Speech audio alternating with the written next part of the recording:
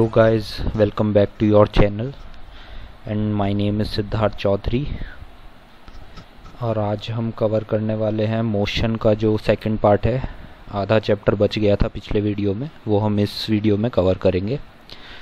तो सबसे पहले तो हम टॉपिक देख लेते हैं, जो जो आज हमें कवर करना है। तो तीन टॉपिक मेनली इसमें है।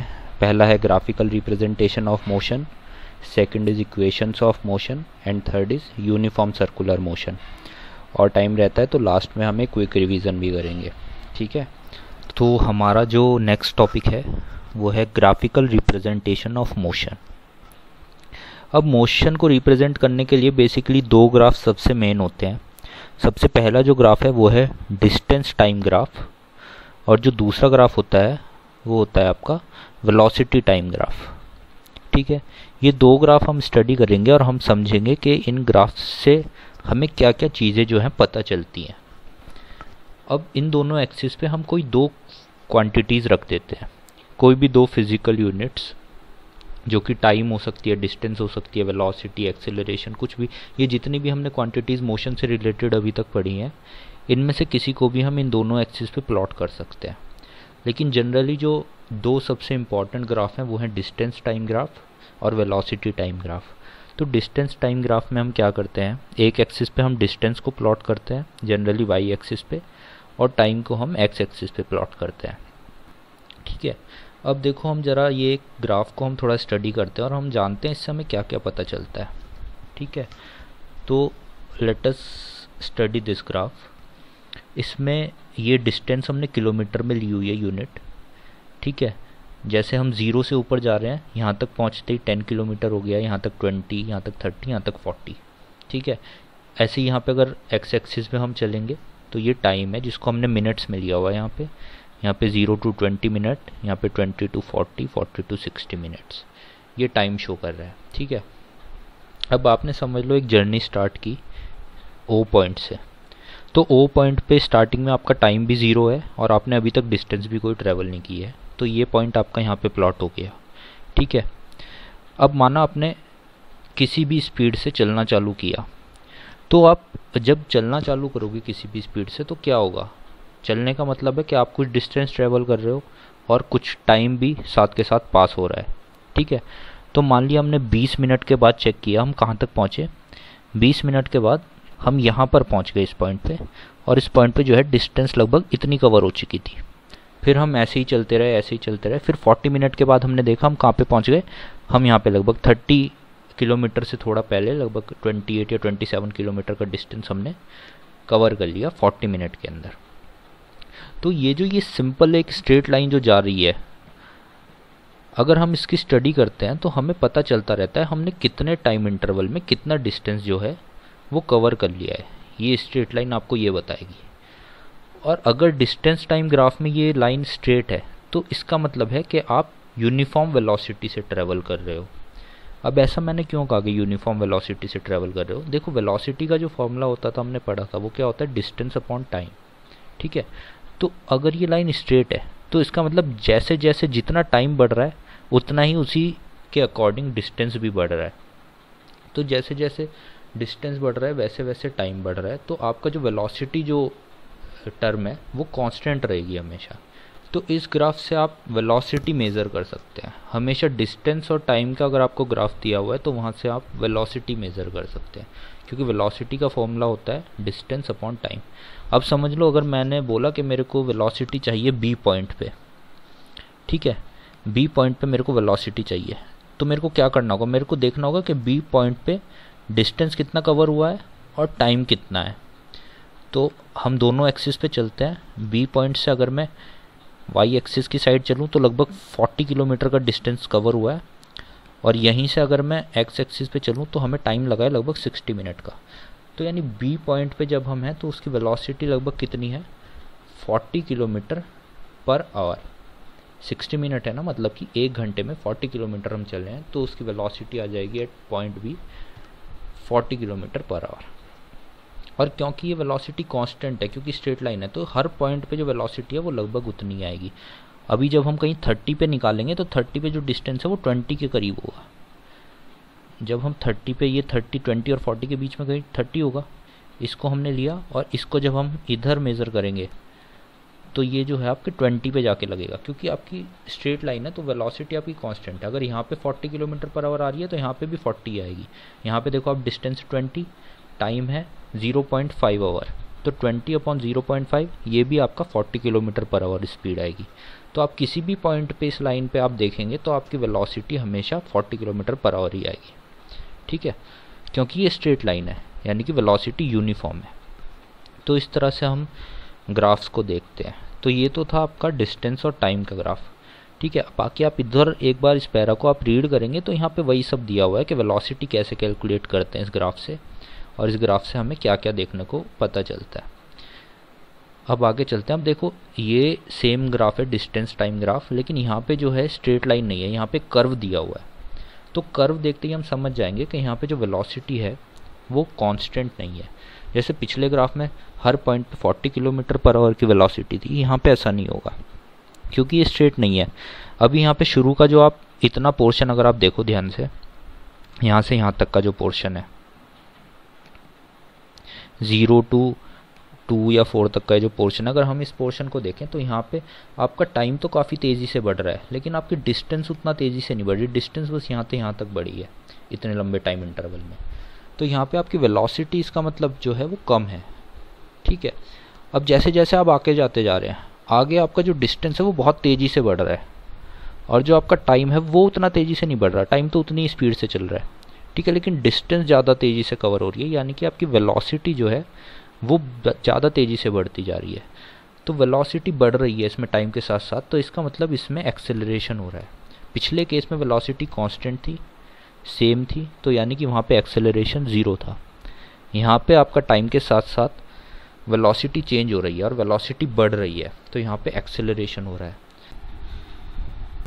तो देखो थर्ड जो सबसे इंपॉर्टेंट चीज़ इस ग्राफ से हमें पता चलती है, वो हमें देखना है, ये जो लाइन है, इसका स्लोप कितना है।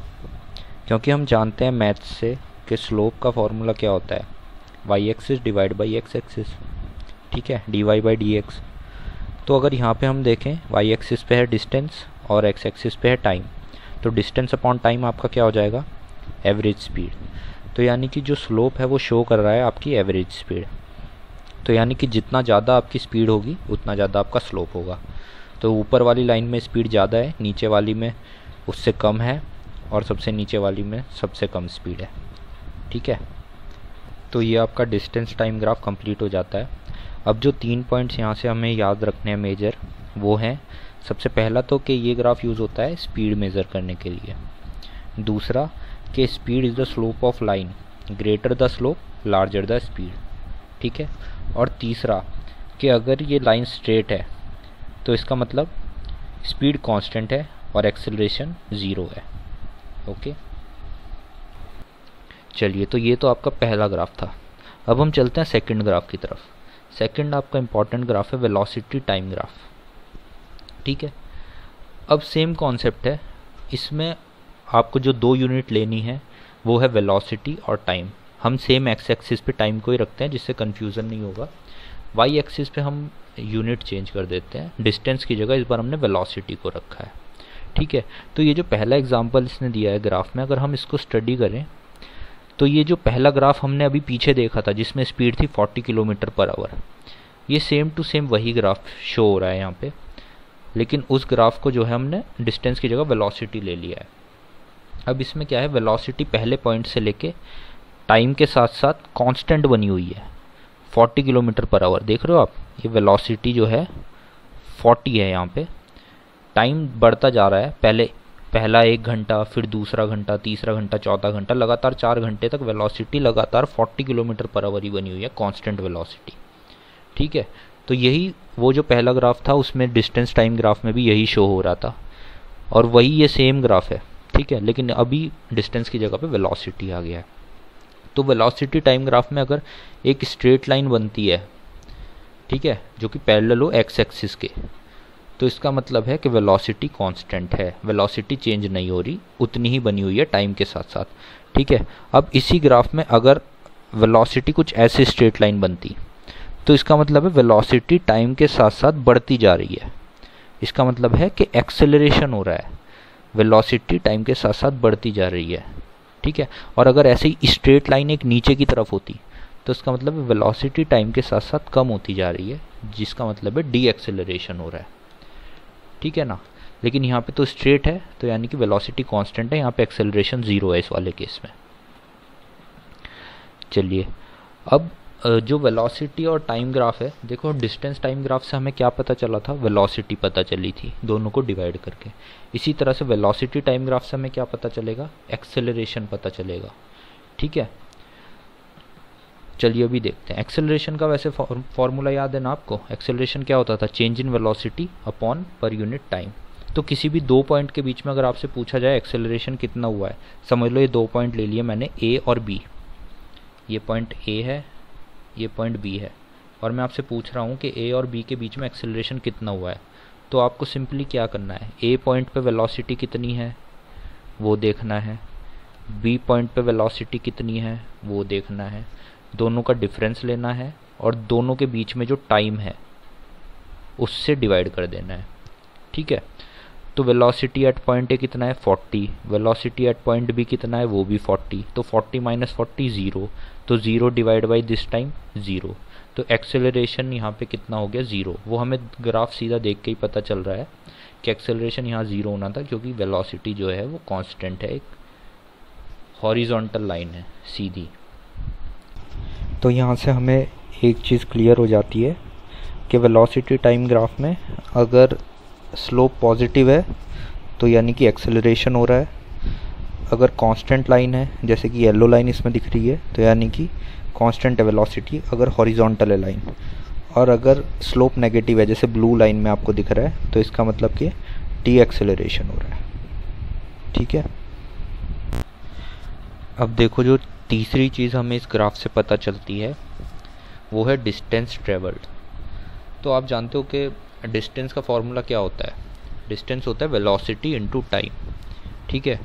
तो देखो, जितने भी टू डी ग्राफ्स आपको देखने को मिलेंगे, आगे भी कभी आप देखोगे तो अगर एक्स एक्सिस और वाई एक्सिस को मल्टीप्लाई करके कोई क्वांटिटी आती है तो उसको आप ग्राफ से मेज़र कर सकते हो।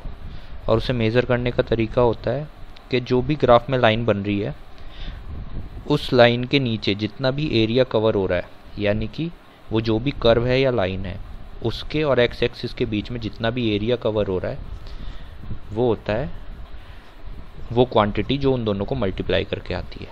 ठीक है? जैसे इस केस में डिस्टेंस है। डिस्टेंस है वेलोसिटी इनटू टाइम तो अगर हम वेलोसिटी इनटू टाइम करते हैं तो यहाँ पे जैसे इस वाले एग्जांपल में एक रेक्टेंगल बन रहा है, इसका जो भी एरिया आएगा, वो डिस्टेंस के इक्वल होगा। ठीक है? ठीक है? जैसे इस एग्जांपल से हम समझते हैं यहाँ पे। अगर हमें यहाँ पे डिस्टेंस ट्रेवल पता करना है पॉइंट ए और पॉइंट बी के बीच में, अगर हमें पता करना है कि पॉइंट ए से पॉइंट बी के बीच में कितना डिस्टेंस ट्रेवल किया है, ठीक है?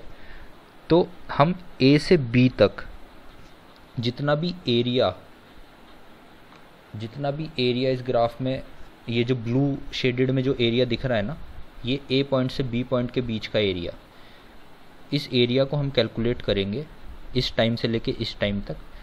और ये एरिया जितना भी आएगा, वो होगी distance travelled between point A and B ठीक है?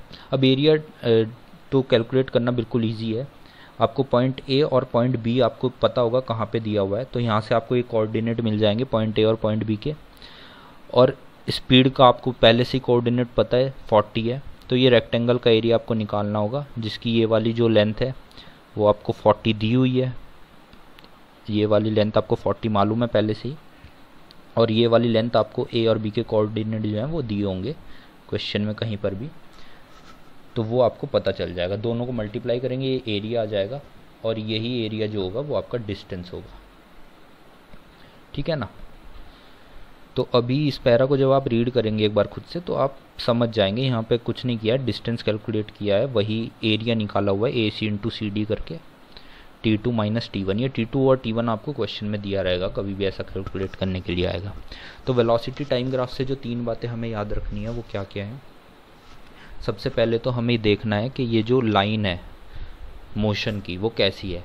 अगर वो हॉरिजॉन्टल लाइन है तो इसका मतलब वेलोसिटी कांस्टेंट है वेलोसिटी में कोई चेंज नहीं हो रहा है एक्सेलरेशन ज़ीरो है। ठीक है? अगर ये जो लाइन है, ये इस तरह से है स्ट्रेट लाइन ही है, लेकिन ऐसे बढ़ती हुई जा रही है तो इसका मतलब वेलोसिटी आपकी टाइम के साथ साथ बढ़ रही है कॉन्स्टेंटली बढ़ रही है तो यानी कि यूनिफॉर्म एक्सेलरेशन हो रहा है। और यही लाइन अगर आपकी इस तरह से टाइम के साथ साथ जो है, कम होते जा रही है इस ग्राफ में। तो यानी कि आपके डी एक्सेलरेशन हो रहा है, वेलोसिटी टाइम के साथ साथ कम होती जा रही है। तो पहला पॉइंट तो आपको ये लाइन देखते ही समझ जाना है मोशन की कि आपका मोशन कैसा है। ठीक है? वेलोसिटी कांस्टेंट है या एक्सेलरेशन है या डी एक्सेलरेशन है। अब दूसरा पॉइंट आता है, इस ग्राफ से आप एक्सेलरेशन का पता लगा सकते हो। ठीक है? एक्सेलरेशन कैसे होता है? सीधा वेलोसिटी डिवाइड बाई टाइम। ठीक है? Change in velocity, sorry. Change in velocity divide by time ठीक है, वहाँ से आप एक्सेलरेशन निकाल सकते हो। अगर आपको डिस्टेंस निकालना है तो डिस्टेंस होता है वेलोसिटी मल्टीप्लाई बाई टाइम ठीक है, वो आपका ये शेडेड एरिया से निकल जाएगा। ठीक है, अगर समझ लीजिए, यहाँ पे ये स्ट्रेट लाइन नहीं होती और वेलोसिटी आपको इस तरह से दी होती। इस तरह से वेलोसिटी होती। तब भी डिस्टेंस निकालने का जो है सेम ही तरीका होता। आपको पॉइंट ए देखना था पॉइंट ए फिर यहाँ पे कहीं पे आता। ये कहीं आपका पॉइंट ए होता और इसी लाइन पे यहाँ पे कहीं आपका जाके पॉइंट बी आता और फिर इनके बीच में जो ये एरिया बनता मतलब कि यहाँ से लेकर के यहाँ तक का जो ये एरिया आपका बनता, ये पूरा एरिया इस पूरे एरिया को आप कैलकुलेट करते, वो आपका डिस्टेंस आ जाता। ठीक है डिस्टेंस निकालने का सेम ही तरीका है, आपको सिर्फ़ area under the curve of velocity वो आपको निकालना है। ठीक है? तो ये आपके दोनों ग्राफ हो गए। ये देखिए, नीचे वेलोसिटी में उसने बाद में ये दूसरा ग्राफ भी दिया है, जिसमें एक्सेलरेशन हो रहा है। ठीक है? यहाँ पे वेलोसिटी टाइम के साथ साथ बढ़ती जा रही है। और यहाँ पे देखो, उसने ये एरिया दिखाया दोबारा निकाल के ए और बी के बीच में। अभी ये जो टोटल एरिया होगा ये ट्राइंगल प्लस ये स्क्वायर ये आपका टोटल डिस्टेंस होगा ए से बी के बीच का। ठीक है? अब ये वाला जो फिगर है, इस वाले फिगर में देखो वेलोसिटी टाइम के साथ साथ कम हो रही है तो यहाँ पे डी एक्सेलरेशन हो रहा है। और इसके बाद ये जो, ये वाला फिगर है, ये एक कॉम्प्लेक्स मोशन है, जिसमें आपकी वेलोसिटी पहले तो बढ़ रही है, फिर घट रही है, फिर बढ़ रही है, फिर घट रही है तो यानी कि पहले एक्सेलरेशन हो रहा है, फिर डी एक्सेलरेशन फिर एक्सेलरेशन फिर डी एक्सेलरेशन तो ये है जो आपका नॉर्मल जब आप कोई गाड़ी चलाते हैं ना नॉर्मल जनरल कंडीशन में तो इस टाइप का ग्राफ बनता है। क्योंकि तब आपका ब्रेक्स भी यूज़ होते हैं, एक्सेलरेटर भी यूज़ होता है। कभी आप एक्सेलरेट कर रहे हो तो वेलोसिटी बढ़ रही है। यहाँ पे ब्रेक लगाए तो वेलोसिटी कम हो गई, फिर एक्सेलरेट किया बढ़ गई, फिर कम हो गई। तो तब इस तरह का ग्राफ बनता है। ठीक है? तो ये हो गया आपका ग्राफ्स का फंडा पूरा। तो देखिए अभी जो हमारा नेक्स्ट टॉपिक है, वो है इक्वेशंस ऑफ़ मोशन तो एन e में जब आप देखेंगे, ये इक्वेशंस ऑफ़ मोशन को जो है ग्राफिकल मेथड से यहाँ पे सॉल्व किया हुआ है तीनों को डेरिवेशन निकाला हुआ है तीनों को। तो सबसे पहले तो हम देख लेते हैं, नाम होता है इनका, पहली इक्वेशन होती है V is equals to U plus A T वाली, इसको बोलते हैं equation for velocity time relation दूसरी होती है आपकी S is equals to U T plus half A T square इसको बोलते हैं equation of position time relation और तीसरी इक्वेशन है आपकी two A S equals to V square minus U square इसको हम बोलते हैं equation for position velocity relation तो ये डेरिवेशन थोड़ा देखने से पहले एक बार हम थोड़ा जनरल देख लेते हैं इन इक्वेशंस में होता क्या है। तो देखिए स्लाइड में ये तीनों इक्वेशंस हमें दिख रही हैं।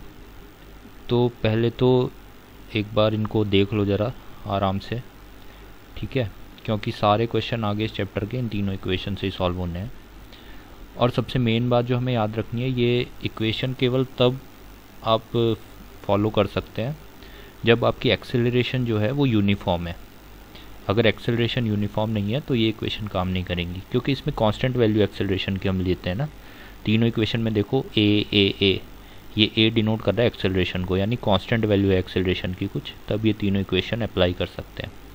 ठीक है? तो सबसे पहले तो हम ये इनके इनिशियल्स के बारे में जान लेते हैं कि ये क्या क्या डिनोट करते हैं। ठीक है? तो एस तो हम जानते हैं। एस को हम डिस्प्लेसमेंट के लिए यूज़ करते हैं। यू होती है हमारी initial velocity V final velocity और ए एक्सेलरेशन और टी टाइम ये पाँच यूनिट्स ही हैं जो इन तीनों इक्वेशंस में यूज़ होनी है। एस यू वी ए और टी ठीक है? और इसी वजह से इन इक्वेशंस को हम ये सुवेट इक्वेशंस भी बोलते हैं, क्योंकि ये पाँचों क्वांटिटीज़ में यूज़ होती है एस यू वी ए और टी ठीक है? और हमें ये भी ध्यान देना है कि एस यू वी और ए ये चारों क्वांटिटी जो हैं वेक्टर क्वांटिटीज़ हैं। मतलब कि इनका मैग्नीट्यूड के साथ साथ डायरेक्शन भी होता है। ठीक है? डिस्प्लेसमेंट भी डायरेक्शन शो करता है। यू और भी वेलोसिटी हैं, उनकी भी एक पर्टिकुलर डायरेक्शन होती है और एक्सेलरेशन भी किसी पर्टिकुलर डायरेक्शन में होती है। तो चलिए अब इन तीनों इक्वेशंस का डेरिवेशन हम देख लेते हैं एक बार। तो सबसे पहली इक्वेशन है हमारी वेलोसिटी टाइम रिलेशन ठीक है? तो नाम से ही पता है वेलोसिटी टाइम रिलेशन है तो वेलोसिटी टाइम ग्राफ को इसमें यूज़ किया हुआ है। तो इस ग्राफ को हम पहले ही पढ़ चुके हैं वेलोसिटी टाइम ग्राफ को। यहाँ पे पॉइंट ए पे इसकी इनिशियल वेलोसिटी शो हो रही है, जिसको हम यू से डिनोट करते हैं। पॉइंट बी पे इसकी फाइनल वेलोसिटी शो हो रही है, जिसको हम वी से डिनोट करते हैं। और ओ से सी तक जो ये टाइम इंटरवल है, इसको हम टी से डिनोट कर रहे हैं। ठीक है? अब देखते हैं इसमें क्या किया है। तो इसमें सिंपली कुछ नहीं किया हुआ है इन्होंने। एक्सेलरेशन को लिया हुआ है। एक्सेलरेशन का फॉर्मूला हमको मालूम है। एक्सेलरेशन क्या होता है? Change in time upon time taken ठीक है? अब change in velocity upon time taken तो चेंज इन वेलोसिटी कितना है? वेलोसिटी में जो चेंज हुआ है वो कितना है? पहले यू था, बाद में वी हो गई तो चेंज इन वेलोसिटी है वी माइनस यू अब वी माइनस यू इस ग्राफ से हम देख सकते हैं जो डिस्टेंस है बी डी बी डी हम देखते हैं इस ग्राफ में कहाँ पर है?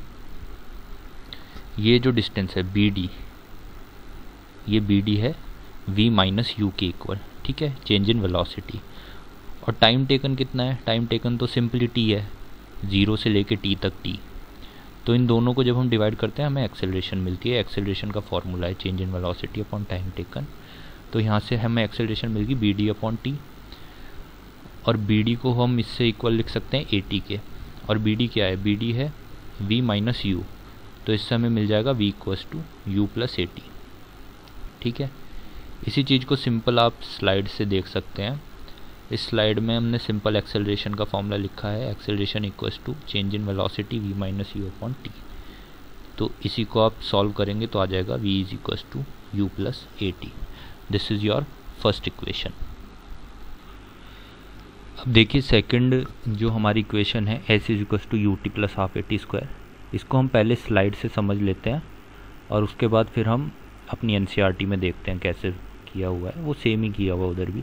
तो हम जानते हैं कि अगर हमें डिस्प्लेसमेंट निकालनी है, इस इक्वेशन में मेनली हमें डिस्प्लेसमेंट का फॉर्मूला चाहिए। तो डिस्प्लेसमेंट हम कैसे निकालते हैं? डिस्प्लेसमेंट आता है area under velocity time graph ठीक है? तो हम वेलोसिटी टाइम ग्राफ देख लेते हैं, ये जो हमने ड्रॉ किया हुआ है।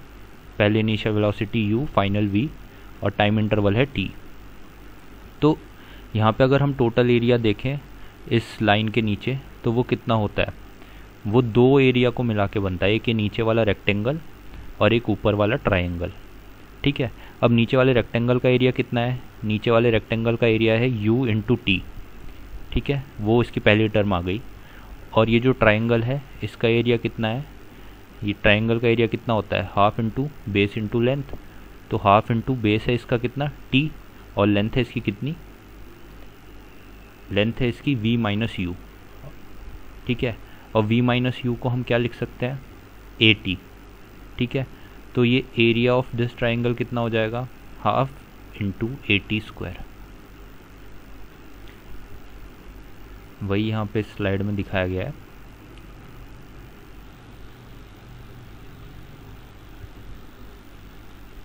ठीक है? तो अभी यहाँ से आप क्लियरली ये इक्वेशन समझ गए हैं, कैसे आइए सिंपल एरिया कैलकुलेट किया है। अब इसी चीज़ को हम एन e में एक बार देख लेते हैं। ठीक है?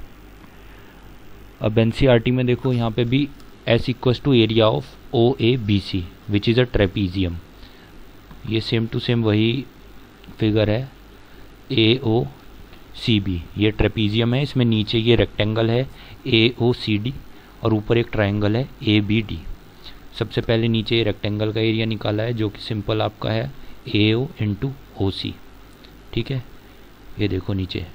A O into O C और इसमें ऐड किया है ट्राइंगल का एरिया जो कि है half into A D into B D ठीक है? ये देखो half into A D into B D अब ओ ए और ओ सी की वैल्यू रख दी है यू और टी और ए डी और बी डी की वैल्यू रख दी है टी और ए टी तो यहाँ से आपकी इक्वेशन आ जाएगी S is equals to U T plus half A T square ठीक है? अब देखो यहाँ पे थर्ड इक्वेशन देख लेते हैं। लास्ट इक्वेशन है यह पोजीशन वेलोसिटी रिलेशन अब इसमें भी सिंपल वही किया हुआ है। एस निकाला इसमें एरिया ऑफ़ ट्रेपीजियम देखो, पिछली बार जो हमने एरिया निकाला था एरिया है डिस्टेंस के इक्वल ठीक है? तो पिछली बार जब हमने डिस्टेंस निकाली थी, वो थी रेक्टेंगल प्लस ट्रायंगल का एरिया ऐड किया था। इस बार हम दूसरी तरीके से निकाल रहे हैं। एरिया ऑफ़ ट्रेपीजियम ट्रेपीजियम का एरिया निकालने का फॉर्मूला होता है हमारा। Addition of parallel sides into perpendicular side ठीक है? तो यहाँ पे हम इस इक्वेशन में अगर देखें O A plus B C into O C upon two ठीक है? ये आपका एरिया हो जाएगा ट्रेपीजियम का, जिसमें ओ ए प्लस बी सी ये दोनों आपकी पैडल लाइन्स है, ठीक है? इंटू ये परपेंडिकुलर साइड है आपकी ओ सी और डिवाइड बाई टू ये एरिया ऑफ़ ट्रपीजियम हो जाएगा। तो इसमें ये हम रख देते हैं वैल्यू अब वैल्यू रखने के बाद ओ ए हम जानते हैं यू है बी सी की वैल्यू वी है और ओ सी सिंपल टी है। इन सबको हम पुट कर देते हैं तो ये इक्वेशन आपकी आ जाएगी। अब इसके बाद इस इक्वेशन में आपको टी की वैल्यू पुट करनी है। टी की वैल्यू हमें पुट करनी है फ़र्स्ट इक्वेशन से। टी की वैल्यू क्या होती थी? V is equals to U plus A T था, वहाँ से टी की वैल्यू आ जाएगी V minus U upon A अब इस वैल्यू को टी की इस इक्वेशन में पुट करेंगे और सॉल्व करेंगे तो एस की ये वैल्यू आ जाएगी। ठीक है? इसी को हम सॉल्व करेंगे तो आ जाएगा two A S equals to V square minus U square अब ये तो हमें ग्राफ से हमने निकाला है एरिया के मेथड से। इसी को सिंपली अगर हम देखें, इस स्लाइड से अगर हम समझें तो जो आपका पहला इक्वेशन होती है v equals to U plus A T अगर आप इसका होल स्क्वायर कर देते हैं, ठीक है, इसका होल स्क्वायर करेंगे तो आपको क्या मिलेगा? V square equals to U plus A T का होल स्क्वायर उसे ओपन करेंगे तो आ जाएगा U square plus two U A T plus A square T square अब इसको अगर आप सॉल्व करेंगे तो आपको सीधा मिल जाएगी आपकी equation V square equals to U square plus two S जो कि आपकी थर्ड इक्वेशन है। ठीक है? ओके तो हमारा फाइनल टॉपिक अभी चैप्टर का आ चुका है। ये यूनिफॉर्म सर्कुलर मोशन ठीक है? अब देखो सर्कुलर मोशन तो जैसे कि हमें पता ही है सर्कुलर मोशन क्या होता है? कोई भी ऑब्जेक्ट अगर किसी एक सेंटर के अराउंड रिवॉल्व कर रहा है या रोटेशन कर रहा है तो वो हम सर्कुलर मोशन बोलते हैं। जैसे कि आपका फ़ैन है, आपने फ़ैन ऑन किया, फ़ैन गोल गोल घूम रहा है तो वो भी सर्कुलर मोशन है। ठीक है? जैसे कि आपका अर्थ है, वो सन के गोल गोल रिवॉल्यूशन करता है तो वो भी एक सर्कुलर मोशन है। ठीक है?